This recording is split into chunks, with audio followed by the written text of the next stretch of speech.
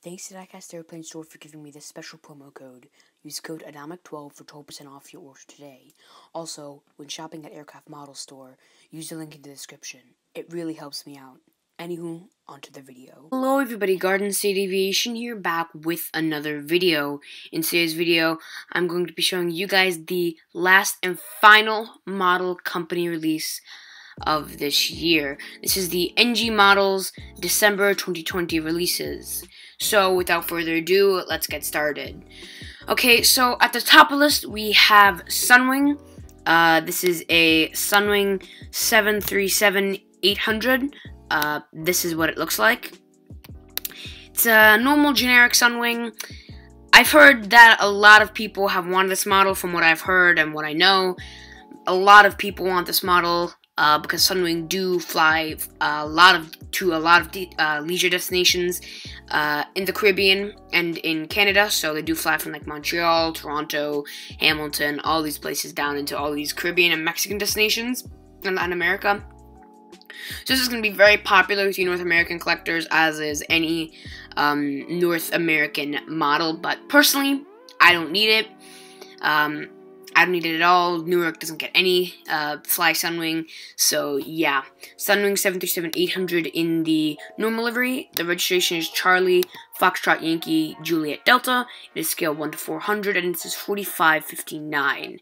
Um, and um, we have another Sun Country, and both of these are with uh, split scimitar, winglet scimitar. Uh, but the only difference between this one and the last Sun Country, uh, not Sun Country, not Sun Country Sunwing, um, the difference between the last Sunwing and the normal livery and this one is obviously, as you can see, is the tail. Uh, this is a Sunwing 737 800 in the Jameson Whiskey livery. Um, it's basically a normal um, Sun Country 737-800 except with the um, Jameson Whiskey logo painted onto it.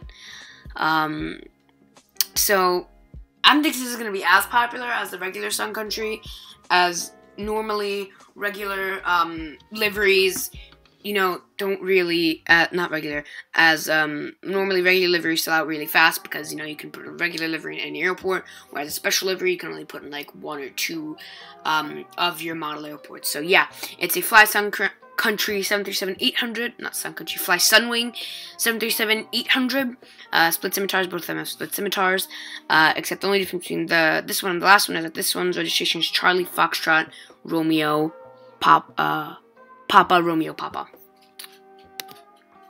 Okay, moving down the list, we have uh, two 737s. This is a, this is a very bundled release. Um, we have my dog's scratching his back. Uh, but anywho, we have an Aeromexico 737-800. Uh, one is with split scimitars, one is without. This is the one with split scimitars. Um, it's, it's basically a normal uh, Aeromexico 737-800. Only difference between this one and the next one is the registration and the winglets. Um, and the registration on this one is X-Ray Alpha Alpha Mike Victor.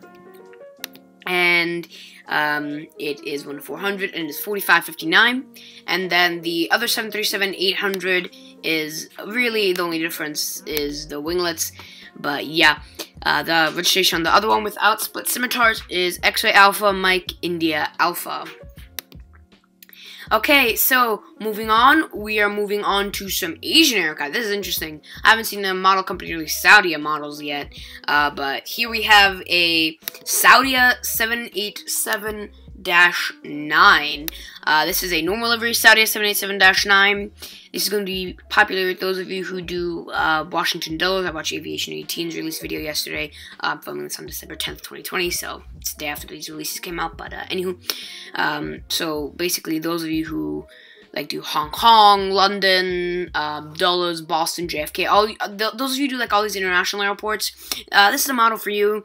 Uh, Saudia, I believe they do fly to many, many international destinations. So yeah, this is a Saudi 787-9, I want to say. Yes, uh, uh, yeah, 787-9.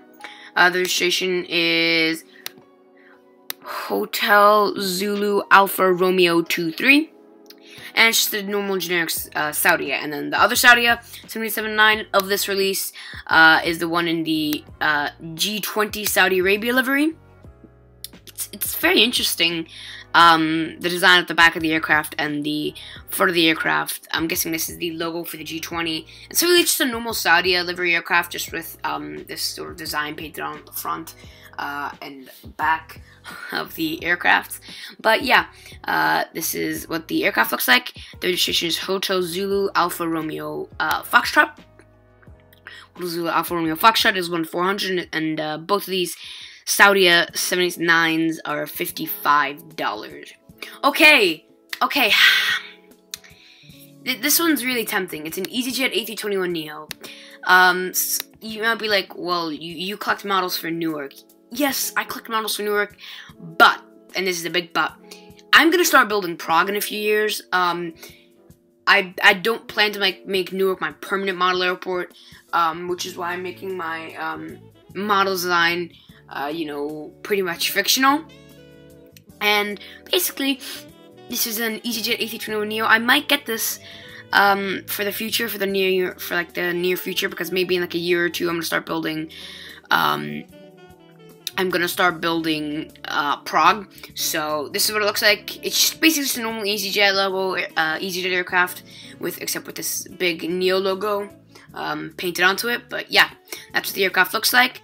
Registration is Golf Uniform Zulu Mike Alpha. It is 1 to 400 and it is 45.59. Moving on down the line, this is going to be popular uh, with those of you who do uh, you call this? It's gonna be popular with those of you who do Asian airports, um, Middle East airports, Vistara, it's a Vistara um, A321 Neo. I've seen, I don't know if NG's um, Neo molds are new because basically they've been doing a lot of new aircraft, the JetBlue A320 Neo, Vistara, EasyJet, um, and, and they've been doing, you know, a lot of these. And I don't know if this is just like random or if this mold is new.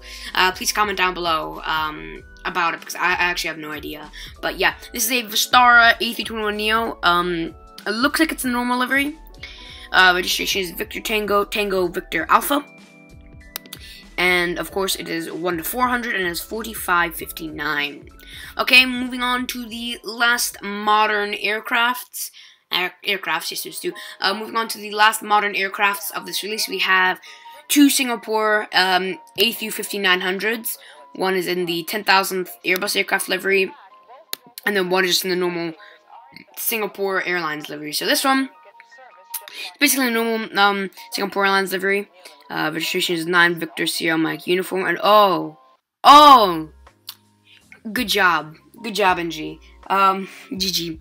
Basically, um, you see, my my airport, Newark, my home airport, used to get the longest flight in the world, A350-900 ULR. It was um Best Singapore Airlines. It was ex this exact registration aircraft. It's configured in business and premium economy that flew uh, this route, uh, but they decided to move to JFK, which is which is really, really, really, really disappointing to me because you know this is just a phenomenal aircraft, phenomenal looking aircraft. But yeah, uh, Singapore Airlines A350-900.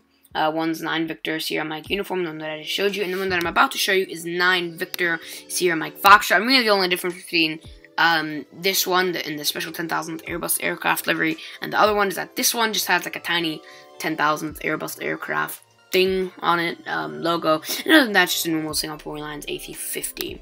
But yeah, moving on to the last one, 400 model of this release, we have an Air Transat L1011-1.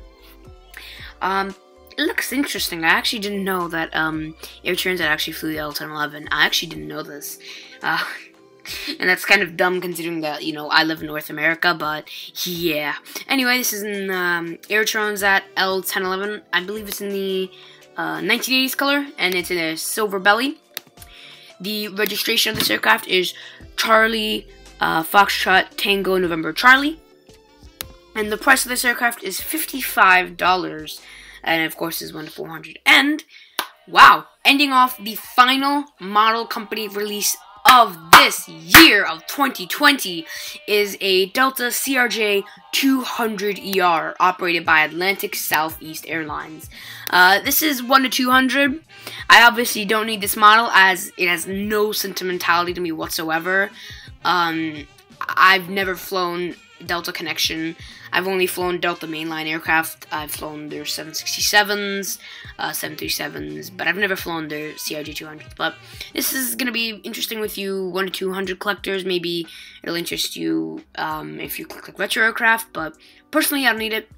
But um, yeah, the registration is November 824 Alpha Sierra. It's in the ASA Airlines livery operated by ASA, and it is one to two hundred dollars, and it is sixty-eight dollars. I just said one to two hundred dollars, and I one to two hundred scale. I'm sorry. And that being said, that does conclude the NG Models December 2020 releases. I'm not getting anything from these releases. The EasyJet A320neo I might ask for for Christmas, but I'm probably not gonna get it because I don't need it. This is a pretty not I'm gonna be honest, this is kind of a pretty lame release personally for me. I know this is gonna be a very controversial thing that I'm saying, but I don't need any models from these releases compared to um, November 2020 releases where you had like 50 models. Here you only have like one or two, so this isn't really, you know, a major release for me. But yeah, that being said, that does conclude the final NG Models 2020 release. Wow, we've come a long way since uh, January. We've come a real long way um, since the start of all this stuff, and you know, it it's mind blowing to think that we're already at the end of um, 2020. But yeah. That being said, that does conclude this video. If you guys like the video, please like, subscribe, turn on our notification bell so you don't miss my videos, and comment down below uh, what are you getting from this release, and um, please comment down below what you think, you know, NG Model's thought processes whenever, you know, they do one of these worser releases. I know that's a controversial opinion, but still. But yeah, once again, thank you for watching today's video, and I'll see you in the next one. As always, goodbye.